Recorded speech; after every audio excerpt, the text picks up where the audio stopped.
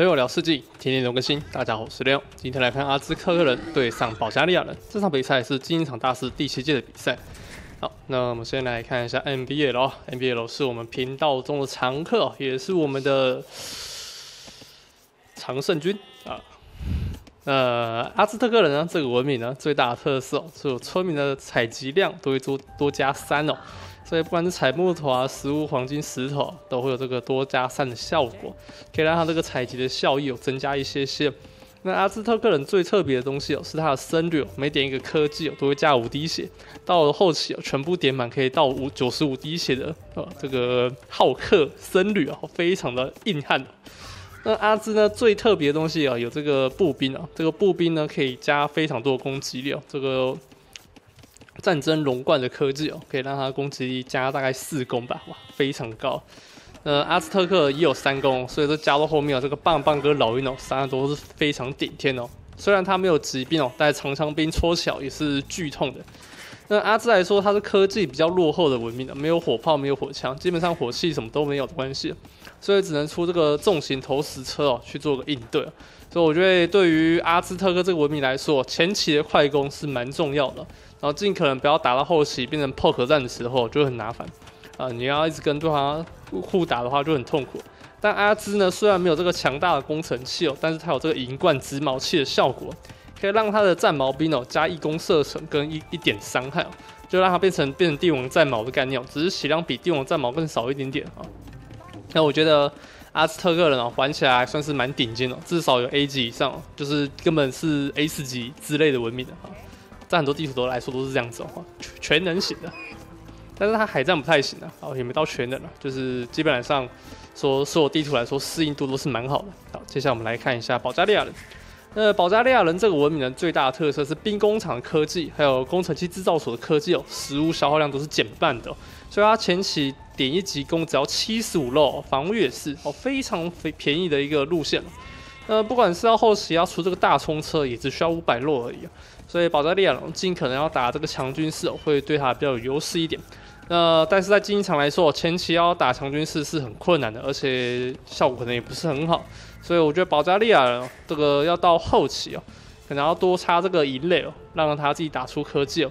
只要一直用银雷去控土哦，可能可以控到一些不错的效果。那我觉得保加利亚人后期哦，可以打的路线也算蛮多了，不管是要打这个保加利亚骑兵，或是这个快刀落马。啊，或者是打这个马弓，都是蛮适合保加利亚人的。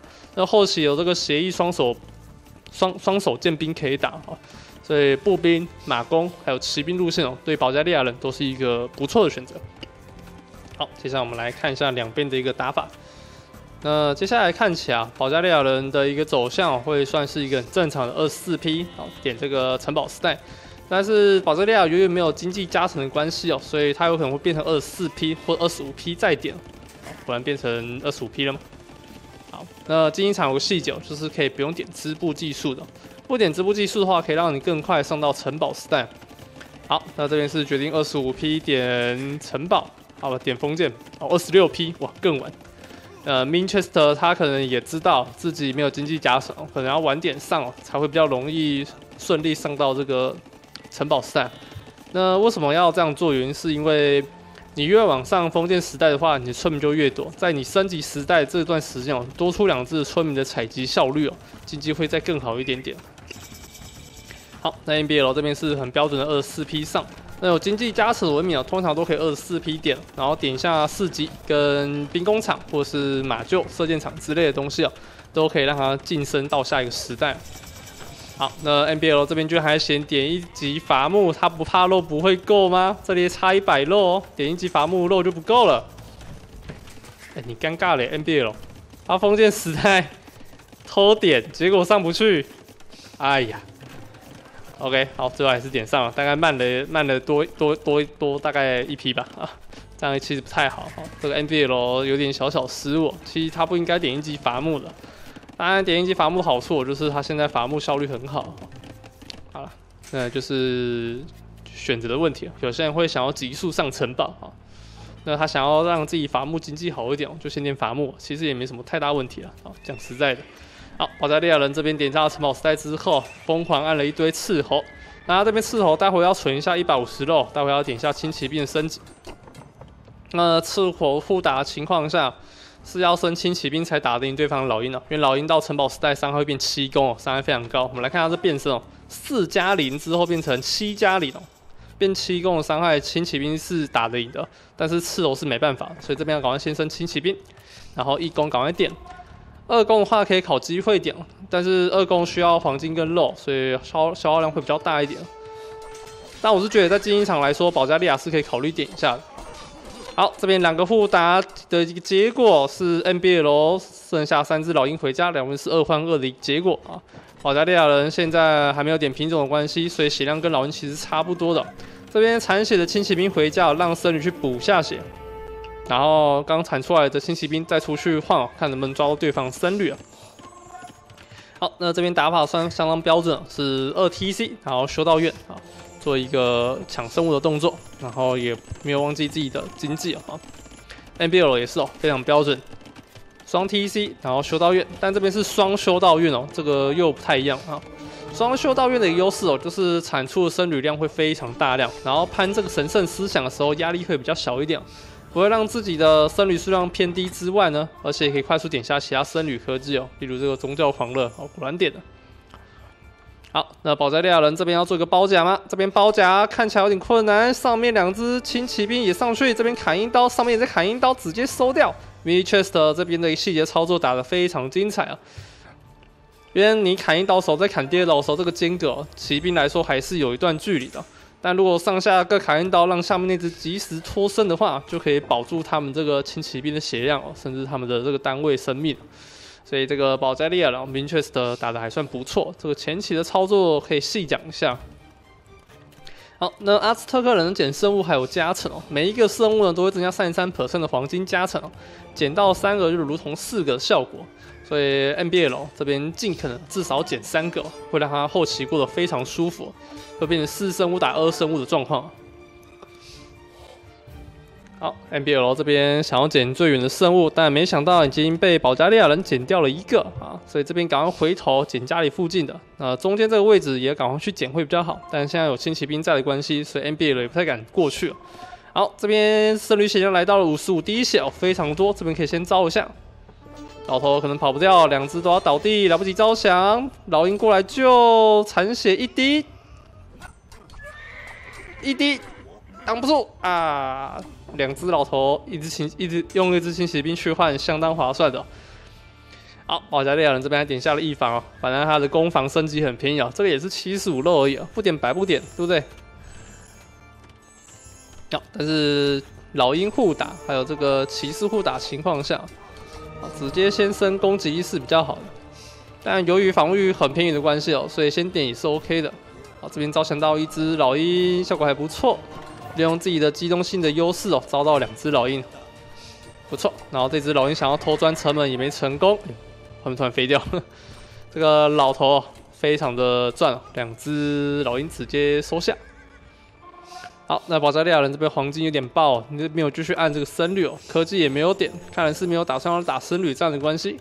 好，那阿兹这边血量是来到五十五滴血，基本上要砍到三到四刀才有可能打得死。应该是四刀了。好，那目前 NBL 圣物采集的状况，目前只拿到了一个圣物，其余三个圣物还在地图上啊。这边可能赶快找个机会去拿。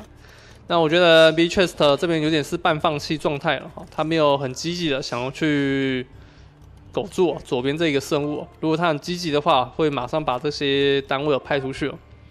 啊，但是他这边还是有在清骑兵的哈。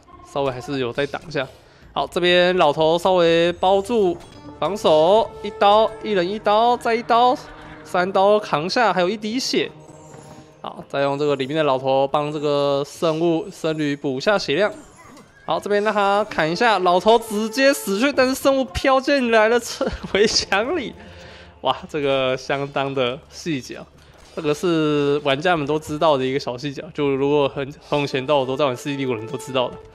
其实这个围墙是可以穿墙进去的，圣物的部分。那西西里也有一个打法很特别，就是把这个城楼盖在这个边边角角，你的村民是可以进去城楼里面，然后偷渡进去的啊。啊，还有这个瞭望塔，记得也是可以吧？一般瞭望塔也可以。反正有各种各式各样的方式哦，可以穿透这个石墙的啊。这个是竞技场的一些小小技巧，当然对新手来说，打新手有用啦。打这些高手，这些战术哦，就偏的有点，有点在自己在扮演小丑的感觉啊。所以这个就是你想要虐菜的话是可以用的。好，那目前 V Chester 这边是四 TC 开农，后面补下大雪。好，那 NBL 把第四个 TC 盖在了外面。这边准备点下帝王时代，时间点只差一点点而已啊！黄金稍微买卖一下，甚至不用买卖哦，直接靠着黄金慢慢踩上去也是可以啊。所以反正继续按嘛。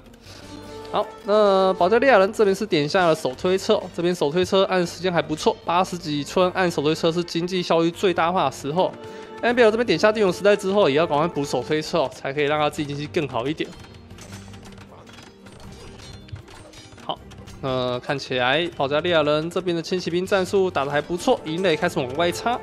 那营垒这个这个宝其实用起来非常强大哦，它只需要城堡的半价价格，然后伤害却跟城堡差不多。虽然血量也只有城堡的一半，但可以生产保加利亚骑兵。虽然没办法升级金银冠，但以控图来说是相当强悍的一个堡垒啊，甚至比这个箭塔还要好用啊，伤害更猛，而且箭矢量也够多。哦，保加利亚人这边要先赶快到处插，有，呃，明确者这边很知道自己要怎么发挥自己的优势。OK，保加利亚人的控图优势展现出来了，你盖一栋城堡，我可以盖两栋营垒，好，控图的优势非常的明确。好，那 NBL 这边居然没有先点手推测，可能是有点忘记，或是木头不够多，所以这边还在报下经济，先升一下步兵防御力。好，但农田也是一直傻，一直导致他没木头，所以现在 NBA 要点手的是有点困难。但是保加利亚人这边早就已经点好了，经济也开始慢慢起飞，但是他居然忘记点二级木，难道这是法伏笔吗？二级木没点很伤啊，二级农没点我觉得还好，二级木没点就真的很吃亏了。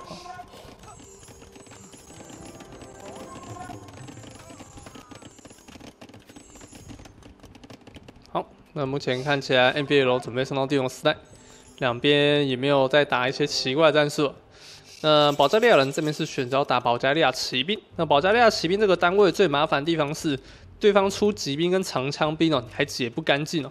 这个长枪长枪兵解完骑兵之后，他还会下马变成步兵，拿流星锤继续敲这个长枪兵的头，哦，非常难受的。所以保加利亚骑兵针对步兵战来说是蛮好用的哈。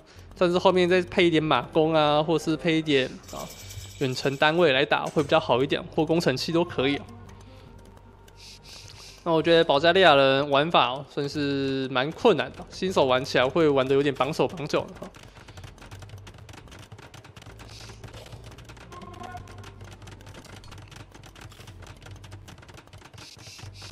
好，那 NBL 也是把自己的城堡往外盖，开始要来攻城了。好，这边先砸了这个营垒，营垒的血量非常低，很快就可以被巨头给清理掉。哎，但这个巨头你看打歪喽。这个营垒的好处是单位比较小一点，有时候巨头会打歪。这个闪的不错啊。好，这里也补下了一个马镫，马镫科技点完之后，攻击速度会加三三 percent 哦，攻击速度超级快速。好，上方这边 T 四也被抓到，后面这个僧侣在后面蓄势待发。NBL 这边的布局还是布的很好，这只僧侣在右侧这边去驻守。好，这边老鹰再度回来，但是僧侣没有空，所以直接走出了城门。这边村民要继续盖有点困难，NBL 村民被抓掉非常多只，只盖到五十 percent。好，这里有三只僧侣走了过来，但左边这栋城营内可能要守不下了。这里有非常多的暴龙士直接 A 了上来，村民可能也要跑。明确实这边有点像互相伤害，但目前比较亏的是 NBA 哦，村民数降掉蛮多的。好，但是这边已经升级好了精锐暴勇士，但是 NBA 手推车还没有点，看起来还是不打算点了，或是忘记点了啊。好，那目前经济非常好的保加利亚人，失误来到了一千六，现在不管他要转什么科技，都可以轻松一举转出来啊。当然忘记把这个三攻三防点好了。好，先点保加利亚骑兵的升级。他没有打算卖一点食物吗？那食物其实有点多。好，这边直接城堡加营垒双重火力射程，直接把这些暴勇士给射爆了。还是靠了一些招降，招降到了一些暴勇士。NBL 这边点下了二级攻，开始提升攻击力，三防金好了。好，这边压制非常强大，后面僧侣非常多，很难受。阿兹的僧侣战也是数一数二的强哦，因为僧侣难杀之外啊，这个血量又多啊，血量又多，然后再搭配冲车啊、头车哦，这个组合是非常致命的哈。好，这时候才点下织布技术，村民刚刚没有织布，死超快的。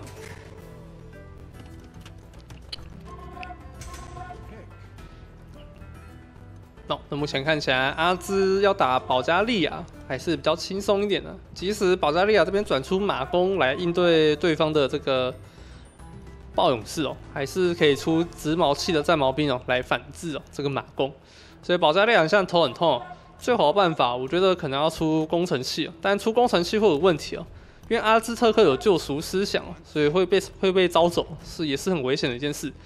所以保加利亚人要打工程器的话，一定要先确保自己的落马可以全部收掉对方的僧侣哦，才有可能做出一波反打哦，工程器反制的动作。不然基本上保加利亚人现在出这个保加利亚骑兵哦，只会被针对，甚至被压制住的状况，是比较难受一点点。当然也可以出这个协议双手剑兵哦，但是我觉得不太推荐，毕竟霸王是打步兵有额外伤害。整体打下啊，长期下来是会亏的，所以这个是负期望值。所以保加利亚现在被压制住，蛮正常的。所以我觉得 NBL 要把握时间哦，趁这个机会哦，赶快把这个兵哦多包一点，巨头开始前压会比较好。现在保加利亚现在是束手无，完全没有办法可以反制阿兹特克这个文明的话，现在这个配兵组成。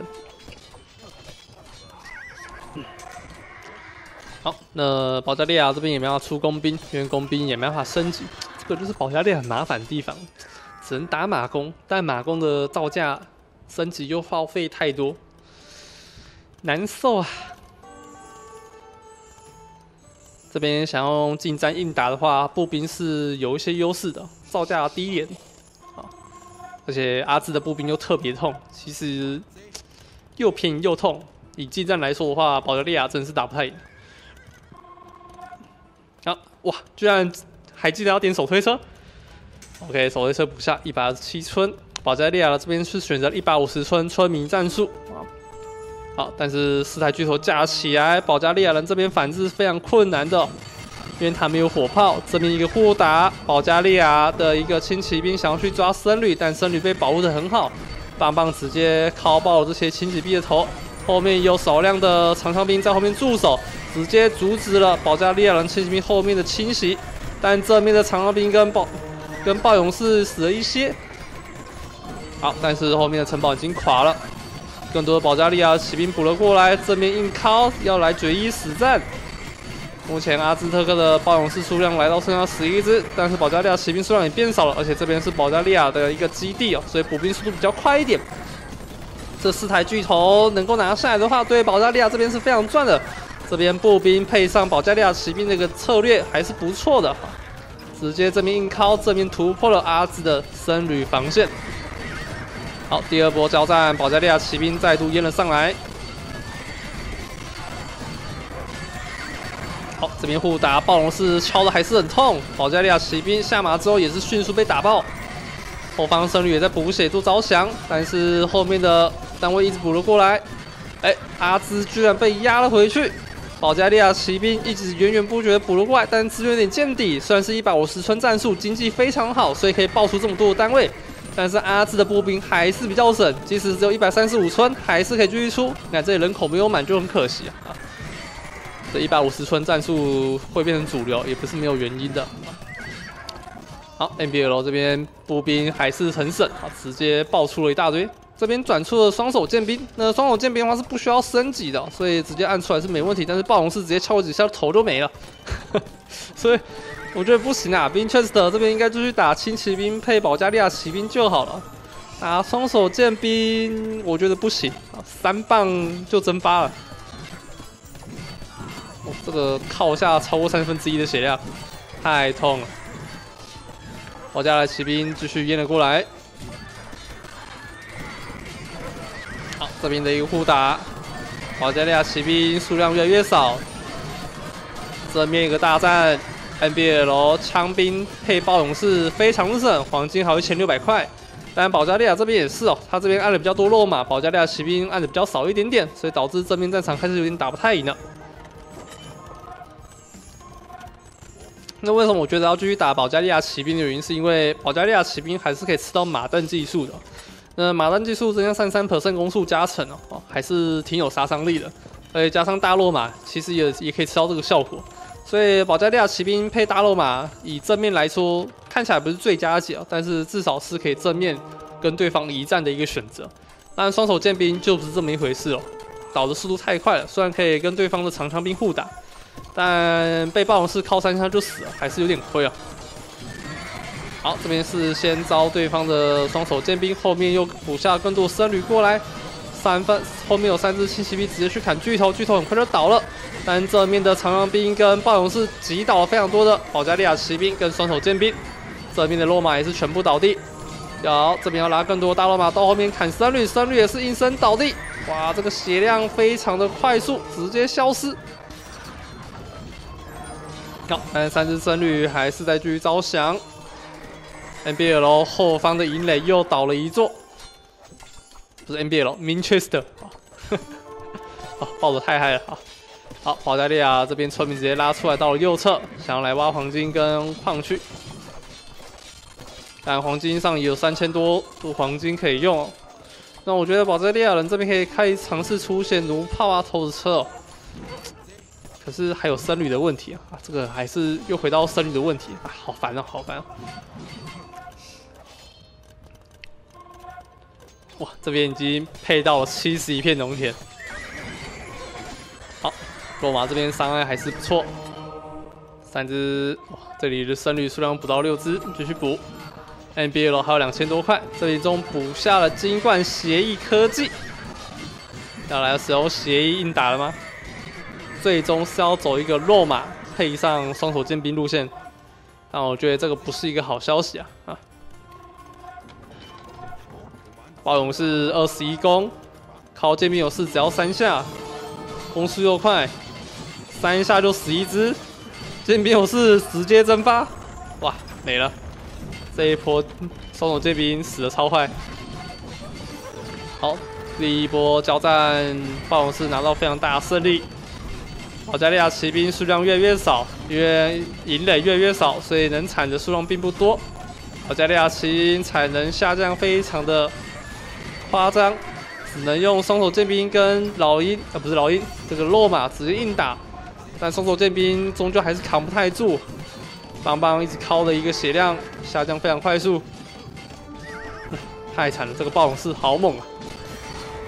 暴龙士无情开敲，保加利亚只能退守到了城墙里。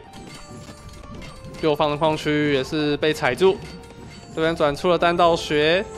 想要来增加一下剑矢的准度，但这边你没有弩兵可以用，要转什么呢？马弓？这里怎么一只村民走了进来？哎呀，救救我啊！我这个是间谍吧？间谍村民怎么可以走到这么里面，还敲了城堡两下？这个村民有点猛啊！闪避值点满。好，阿兹这边转出了装甲步兵，虽然不太懂转装甲的用意是什么，我觉得出狙出暴龙士就可以了。好，暴龙士继续扁，伤害非常高。后面大罗马也是想要偷拆巨头，但是也是没机会。前后方都有大量步兵，直接在战场上面，两边看起来是阿兹还是占上了上风。Manchester 这边经济开始下滑，人口已经不足一百五十人口，剩一百四，村民也是变少。这边明确是的打出了 GG，哇！NBL 拿到一百八十三只的精锐暴勇士的生产，落马是一百五十只。那看一下经济，经济的部分是由 NBL 拿下了木头跟黄金的胜利哦。食物来说的话是保加利亚多一点，因为落马比较贵哦。农田也来到七十几片田。那是三生物的产能还是太好，等于四生物拿到了三千多黄金，几乎是对手的一倍了哈。那目前看起来 NBL 的这个打法还是中规中矩，不会说有什么太奇怪的地方。枪兵配暴勇士哦，确实是解保加利亚了，然后一个很好的一个打法。呃，看来他也是有研究过。好，这个城堡一倒，他应该觉得没机会了。Manchester 这边的打法可能还是要出点马弓，会比较适合这个战术哦。马弓配肉马，甚至再加一些这个保加利亚骑兵哦，可能会好一点。可是他觉得，他可能觉得这个组合太太黄金阵容了吧？因为这个黄金确实要升级蛮多东西哦，重装马弓啊，安息人战术啊，还有拇指环啊，工兵护甲啊之类的啊，单道学化学。升级起来也是要好几千黄金，他可能觉得直接转马弓的话，这个消耗产能太太过夸张了。毕竟自己已经升级了保加利亚骑兵了，如果再升其他东西，确实是一种负担了。好啦，那我们今天影片差不多就到这。那如果喜欢这支影片，请记得帮我下订阅，我们就下次再见喽，各位，拜拜。